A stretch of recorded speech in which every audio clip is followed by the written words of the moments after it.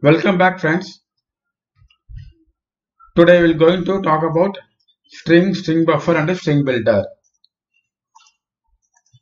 See here is a, my sample class.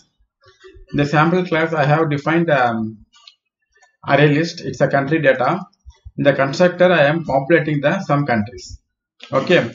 Now I want to manipulate the countries that added in uh, in my country data list. Uh, that is um, whenever um, call the some method print data string print data string buffer print data string builder. There is a three method right? Whenever call that method i want to return entire country as a one string. I want return entire country as a one string. Here we can we have a three approach. One we can use string. Another one you can use string buffer. Another one is you can use string builder now we need we need to choose which one is the best one. Here what i am doing print data string. The print data string uh, ins inside the method i'm iterating the list object. In the list object um, iterating the list object inside the for loop i'm adding the countries and appending the country to in my countries string object countries string, string object. What will happen here? You know string is a immutable class.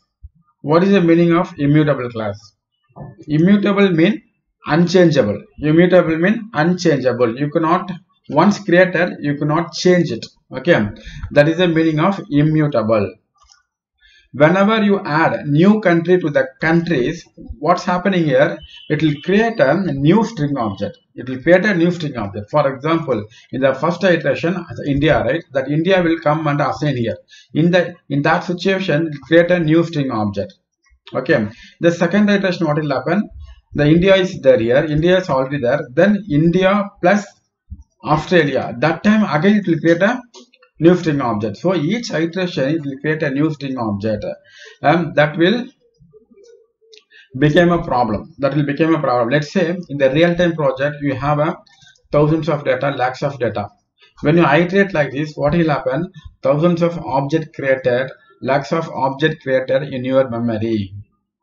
Your application will have a performance issue. If you are using string you will face a performance issue. So please avoid this kind of code while manipulating a string. While manipulating a string. You can go with either uh, string buffer or string builder. We can go with either string buffer or string builder. Both are um, almost same. Okay uh, what is the difference? String buffer. String buffer is a mutable and it is a thread safe. Let's say your program your particular program dealing with thread. Dealing with a thread.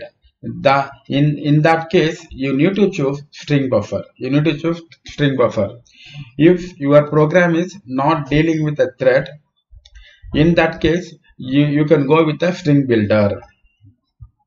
If your program not dealing with thread we have to go with string builder because string builder give more performance when compared to string buffer. Why? Because string buffer is a thread safe. It's a synchronized method. String builder is a not a thread safe. It's not a synchronized method. That's the reason I'm saying if your particular program not dealing with any thread, you can choose string builder. If your particular program dealing with thread, you have to go with string buffer. Okay. Print data string buffer method. If you see this method, I'm using string buffer. From the string buffer, I'm using append method to append all the countries. To append all the countries. If you look at this method inside the string buffer class, it's a synchronized. That is the reason I am saying if your program deals with thread, you have to go with string buffer. Okay.